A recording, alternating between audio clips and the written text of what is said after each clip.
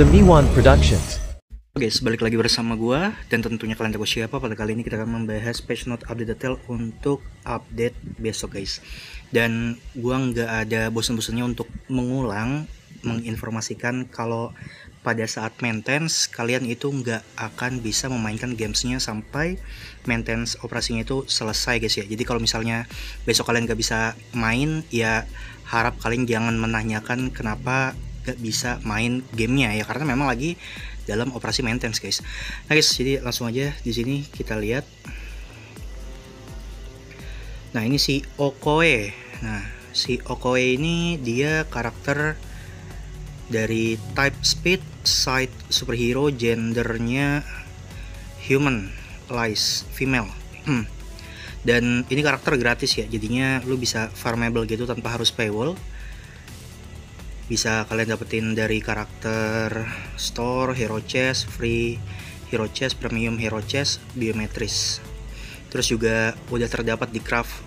Biasanya sih karakter-karakter terbaru biasanya ya itu nggak langsung ada di craft tapi ini uh, langsung diadakan di craft guys. Terus untuk leadernya all allies increase all speed.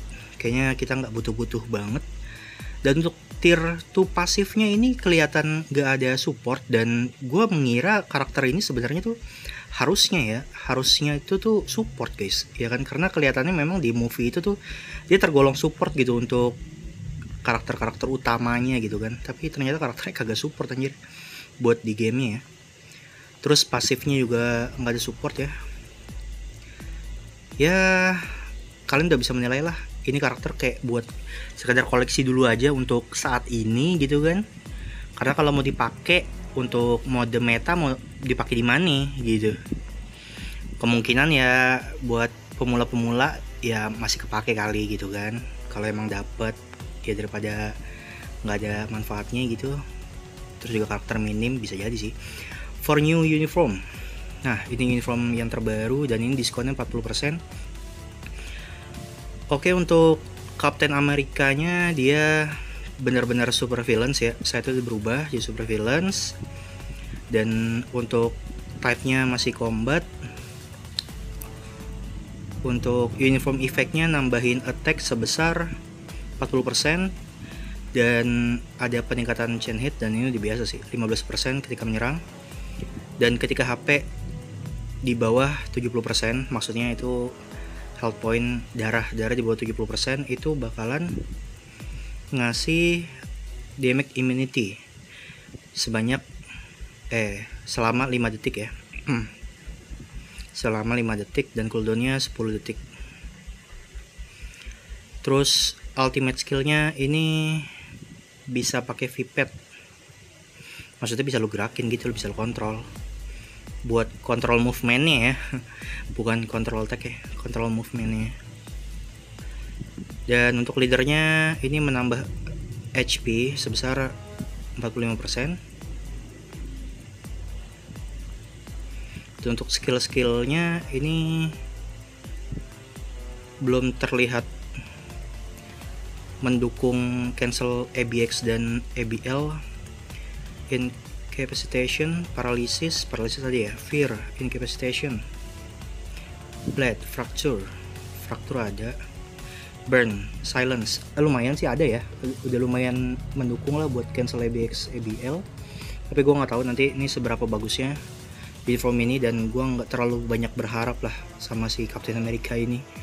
Karena ya setiap update tuh ya ah dibuat nanggung terus gitu. Kesannya itu kayak nggak niat gitu Captain America. Tapi tuh kenapa Netmarble selalu antusias buat apa ya mengutamakan uniform si apa namanya uniform Captain America gitu. Maksudnya tuh sering banget Captain America tuh di up gitu. Falcon What If Zombie. Zombies. Nah dia speed super villains nah kayaknya gimana sih kayak kayak nggak penting banget ya sih gitu? Kenapa harus gitu kan? Kenapa harus dia? Oh dia di sini guys. Jadinya tuh maksud si net marble gitu kan upgrade si Falcon tuh tujuannya di sini nih. Lumayan lah gitu kan. Lumayan maksudnya ada gunanya juga gitu. Applies to zombies lies. Nah jadi tuh bakal ngasih support ya ngasih support nambahin basic damage sebesar 50% ketika kita menyerang superhero. Ya pokoknya universal lah. Maksudnya tuh menyeluruh gitu karakter menyeluruh gitu kan. Nah ini lumayan ini. Ya kalau misalnya nanti ada yang meta gitu kan uniform uh, what if zombie ini ada yang meta ini bakalan jadi salah satu uh, prioritas juga sih maksudnya supportnya gitu kan. Karena gede 50% tuh gede guys bagi gue kayak sebatas itu sih. Jadi kalau buat dibahas mengenai damage-nya lah apanya lah ya mau apa apa yang mau lu harap gitu maksud gue Doctor Strange What If Zombies? Nah ini ini sih yang menarik bagi gue ya di update ini tuh adalah si Doctor Strange yang walaupun sebenarnya belum lama banget gitu kan Doctor Strange udah dapet uniform ini di update lagi tapi udah kagak apa-apa ya selagi site-nya ada perubahan gitu maksud gue ada yang berubah ya. Kayak misalnya sekarang kan dia jadi super villains kan. Nah ini bakal jadi opsi juga kalau misalnya ya kita nggak mau build Iboni gitu kan terus nggak punya si Magneto tapi serius sih guys Magneto itu tuh dia tuh meta guys bener. Ya meta yang emang top lah gitu salah satu top meta untuk di MFF gitu. Si Magneto kalau misalnya lu punya uniform yang seasonalnya gitu. Ya kan bagus dia buat di ABX ABL tuh bagus gitu Magneto. Leadernya ini ngasih Ignore Dodge sebesar 20% dan Energy Tech sebesar 45% tapi gue gua ngiranya ya gue ngelihatnya di sini tuh kayak ada yang kurang gitu. Kalau buat uh, pendukung cancel ABX ABL gitu kan. Soal damage mungkin kita nggak ngeraguin deh emang udah bagus gitu untuk Doctor Strange gitu kan. Cuman buat cancel cancel kayak burn kayak, kayak gitu gitu tuh kayak langka banget sih. Tapi ya nggak apa-apa sih selama tier 4 ya kita masih bisa apa ya manfaatin skill tier 4 itu buat cancel gitu kan cancel uh, extraction dari ABL atau ABX nah ini Wong. Magic Lies leadernya. Ngasih garansi immunity. Magic Lies. Ini nggak ada yang berubah ya? Maksud gue buat pasifnya tuh pasif supportnya nggak ada penaikan gitu kan? Biasa aja sih buat supportnya. Gue nggak tahu nih kepake apa kagak ya sementara kan kalau buat super villain speed itu si itu ya Gwenpool ya. Emang harus ada yang female apa? Eh apa namanya? Yang male gitu gue kurang tahu. Gue lupa gitu. Tapi ntar kita lihat aja. Kayak gimana? Mbaku Killmonger potensial. Nah Mbaku ini jadi kepake lah buat di GBR gitu ya kan?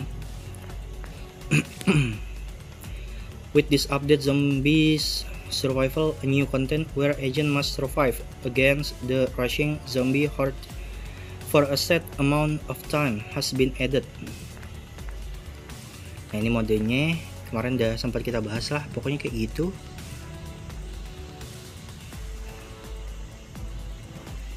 Starring karakter. Reserves karakter. Nah ini apa gunanya gitu? Oh iya guys. Ini kita pakai karakter utama kita kan yang belum jadi zombie kan. Nah kemarin tuh apa namanya yang malah jadi gameplay karakternya karakter yang udah jadi zombie gitu. Itu gue sempet heran kan. Nah, tapi kalau misalnya emang karakter utama kita yang masih fresh gitu kan masih di human nah ini masuk akal menurut gue kalau judulnya zombie survival. Oh ya kayaknya emang bener begini. Nah maksud gue gitu. Baru itu kebenaran berpikir bukan kesalahan berpikir nah ini uh, zombie survival its own set of challenge. Kenapa sih Netmarble tuh nggak fokus buat konten multiplayer gitu maksud gue gue gue kayaknya lebih exciting kalau misalnya tuh Netmarble bikin mode multiplayer gitu karena ya game-game sekarang tuh yang memang seru gitu ya banyak peminatnya itu game yang multiplayer gak sih? Ya kan? Ya termasuk salah satunya GBR kayak gitu tapi kenapa mereka tuh nggak gimana ya kayak nggak tertarik buat bikin mode itu gitu. Mode yang memang membutuhkan multiplayer gitu. Kenapa gitu kan? Heran aja gue ini untuk sementara sementara uh, rewardnya yang bisa ditukar dari koin zombie ya kayak gini ya. Ya menurut gue sih lumayan udah lumayan ngebantu lah buat upgrade upgrade karakter untuk ke tier 3 atau ke tier 4 terus new comic card and collection 5 new comic card with the Marvel Zombies Return ini fixed optionnya nambahin max HP dan juga increase attack, ignore dodge. Ini bagus guys, serius. Fixed option itu bagus. Tapi kita lihat dari untuk bonus option yang di mana itu bonus option adalah stat yang didapat secara random. Nah, red change when attacking HP increase by 20%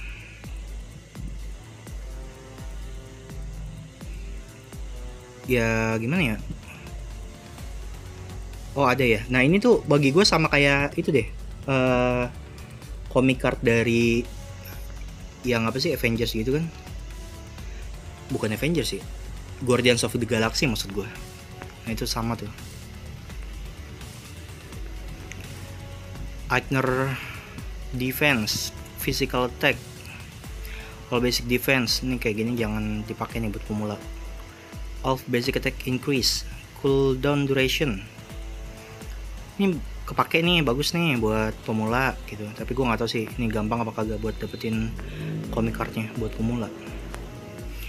The UI relate to boss information in Alliance Vessel has been improved. Yang mana UI nya hmm. The maximum score of each mode has been increased. Before-nya 18 juta afternya 27 juta points. Legendnya 15 juta. Ini ada yang emang udah bisa lebih dari segitu ya? Maksud gue kayaknya mayoritas player MFF tuh belum sebanyak itu gitu. Malah kayaknya top global doang kali gue ngiranya. The higher score reward have been added to extreme model and legend. Apa isinya? Kayaknya menyentuh angka poin segitu tuh masih dikit sih. Ini apa ini? Premium gift box piece and uh, can be acquired from the Alliance Battle chest agents can produce the premium gift box in the craft by collecting piece isinya apa jir? Siokoe. Self tuh kan. Ini dari artefaknya itu kagak penting banget anjir ke self doang lagi. Ini artefak sih itu ya si Falcon. Dari sekarang itu udah di notice kalau misalnya artefak itu nambahin damage bagus-bagus. Ntar kita tunggu buat di Falcon yang di Brave New World aja Killmonger. Nah ini hmm, new season of Peter Pass plus will begin after the update. Feature pass sekarang ada mega rank up kemarin yang kagak ada ya kalau nggak salah ya? Anjay guys. Ini buat icon ya icon zombies. Oh jadi buat what if zombies kayaknya sih berakhir di sini ya karena uniform collection tuh udah langsung di spill ya. Udah di drop udah dikasih tahu gitu maksudnya udah keluar gitu kan buat uniform collectionnya. Jadi kayaknya baki tier 4 kagak ada kali. Tapi di animasi uh, kemarin yang gue lihat kalau nggak salah ada baki kan di animasi skill Captain America. Other improvement and change my team menu has been improved as follow Wah ada insting ya Ini bantu-bantu lah buat informasi gitu kan. Custom gear equipped for each hero can be checked. Wih sekarang informasi kayak gini juga bagus nih guys. Ya kan? Ngebantu kita juga gitu. Apa yang lagi dipakai gitu kan? CTP apa yang lagi dipakai kayak gitu aja sih. Update hot deals product have been added. Ah ini mah buat kaum player yang sultan ini. Bergembira itu ada ini kayaknya. The price crystal. Crystal. Crystal of Special Offer product. Nah guys jadi uh, ini salah satu informasi yang mau gue notice juga ya kepada kalian. Kalau misalnya nanti beberapa karakter yang memang bisa di unlock melalui legendary battle itu bakal di reduce guys. Maksudnya bakal dikurangin harganya ya kan? Yang tadinya 2500 jadi 1500 ini gokil banget sih dan ini berlaku pada game play untuk legendary battle ya. Jadi bukan uh, lu unlock ekstrimnya bukan. Tapi di mana ada karakter yang bisa di unlock di dalam mode uh, legendary battle tersebut gitu kan. Nah itu harganya itu akan berkurang kayak gitu. Kalau metodenya menggunakan kristal gitu guys. The following feature have been added to the craft ini maksudnya buat ganti-ganti ya. Lumayan lah ngebantu-bantu. Wih ini juga bagus nih. Buat radiant run yang emang kita udah selesai gitu kan tapi dapat radiant run yang kagak cocok lo bisa cocokin lagi gitu di sini buat kebutuhan lo bagus bagus. The loyalty point system is now applied ini jadi uh, eh, CTP yang all CTP change up itu nanti ada progress loyalty-nya gitu loh. Yang tadinya kan buat all CTP change up itu itu tuh nggak ada loyalty-nya kalau lo beli gitu. Jadi misalkan lo beli 10 kali dalam all CTP change up itu tuh nggak ada garansi lo bakal dapet ketika di roll 11 kalinya tuh garansi dapetin CTP tapi pada update kali ini nanti tuh sistemnya bakalan berubah gitu di mana walaupun ada event all CTP chance up lu bakalan dapat garansi loyalty dari pembelian lu yang 11 kali kalau kalau misalkan lu nggak dapat gitu nggak dapat dari uh, gamblingnya. Ya kayak gitu lah guys ya untuk sementara info yang bisa gue kasih tahu. Dan kalau misalkan ada informasi yang kelewat yang sekiranya penting ya bisa kalian bantu untuk berikan informasinya di kolom komentar. Dan ini uh, diskusi terbuka. Silahkan kalian berbagi pendapat mengenai update kali ini. Dan menurut gue untuk update kali ini ya cukup cukup ada peningkatan. Tapi gue nggak tahu nanti seberapa bagusnya update ini. Kita lihat aja. Dan mungkin seperti itu dulu aja untuk uh, pembahasan kali ini. Dan ditunggu video review besok gue pada update kali ini. Salam Lord